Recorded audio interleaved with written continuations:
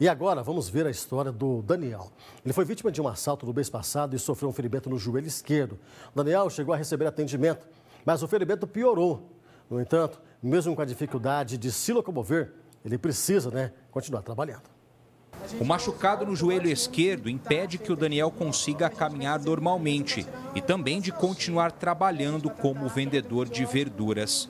O motivo é o que entristece. Ele foi vítima de um assalto na Avenida Leste-Oeste no mês passado.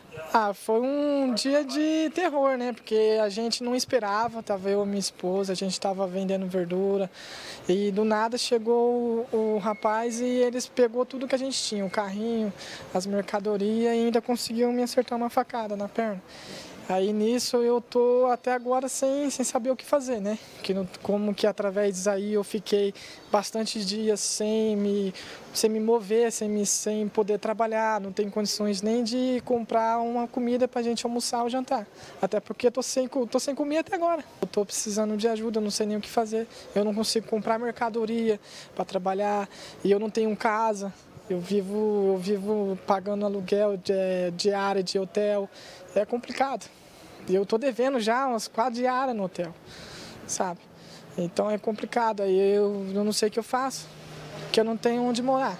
Na ocasião, ele recebeu atendimento em uma UPA. No entanto, dias depois, o ferimento piorou e o Daniel precisou, inclusive, ser internado. Peguei uma bactéria no sangue e deu, deu infecção no joelho.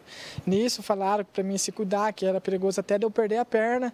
E se eu movimentar bastante a minha perna, eu posso perder que daí vão falar que vão, vai voltar a infecção, vai perigoso, vai ser pior e a recuperação vai ser bem pior. E eu posso até acabar tendo que ser amputada a minha perna. Graças a meu Deus, eu creio que isso não vai não vai acontecer. O rapaz de 24 anos quer ajuda para voltar a trabalhar, mesmo com os problemas no joelho.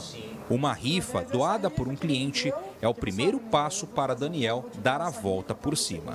E o que eu mais preciso é ajuda para mim conseguir pagar primeiramente o lugar onde que eu estou ficando, sabe?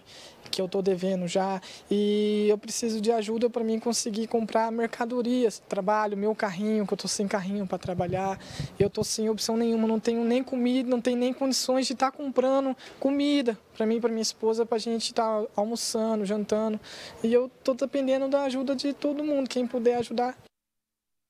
Até a hora que foi feita a reportagem, ele não tinha comido um prato de comida. Para ajudar o Daniel, você entra em contato pelo WhatsApp 99636 1317. 99636 1317, né? Pix para a rifa também, ajuda financeira. O WhatsApp é o 98487 2972. 98487 2972. Quem vai atender é a Sabrina de Souza Rosa, tá? O nome do Pix lá também. Então, se você puder ajudar de alguma forma, por favor, estou precisando de um auxílio, de uma ajuda.